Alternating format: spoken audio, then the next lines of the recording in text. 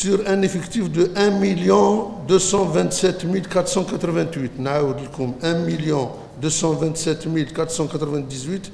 Il y a eu 113 459 grévistes. 113 459 grévistes, ce qui nous fait un pourcentage de 9,24%. Donc je dis bien l'effectif global de l'éducation nationale est de 617 095. L'effectif concerné par, euh, par la grève le 102 638.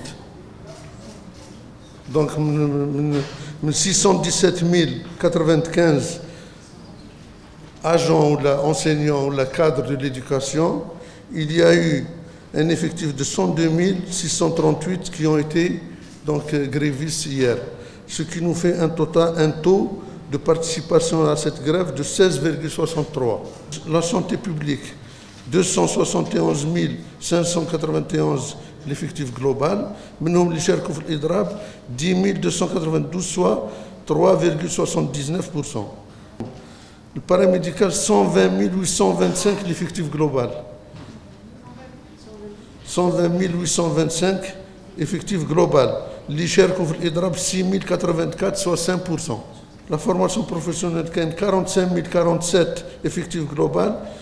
L'effectif concerné l'Icher, 81, donc 0,18%.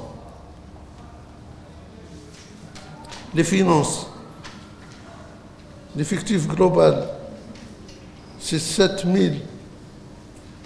557. Il y a eu zéro effectif concerné.